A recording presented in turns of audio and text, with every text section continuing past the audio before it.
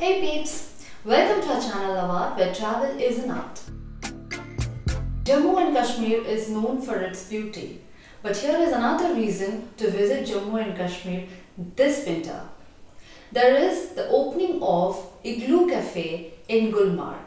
The creators have claimed it to be the world's largest igloo cafe with a height of about 37.5 feet and a diameter of about 44.5 feet.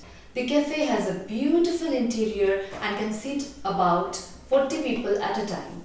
The project took over a month to complete and it displays the artistic side of people who have worked hard to bring it to operation. The creator said that the cafe will stay open to March 15 after which it will be closed for the public because of the approaching summers.